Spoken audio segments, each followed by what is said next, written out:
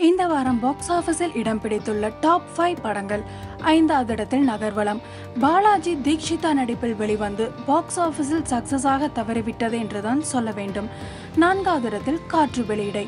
Cinema உலகின் ஜாம்பவான்களால் எடுக்கப்பட்டு இசையமைக்கப்பட்டு பெரும் எதிர்பார்ப்பில் வெளிவந்தது. ஆனால் பாக்ஸ் ஆபீஸில் எதிர்பார்த்த இடம் பிடிக்கவில்லை. மூன்றாவது இடத்தில் கடம்பன். இந்த படத்திற்காக ஆர்யா அதிகமாக ரிஸ்க் எடுத்துள்ளார். ஆனால் பாக்ஸ் ஆபீஸில் அந்த ரிஸ்க் கை கொடுக்காமல் போனது.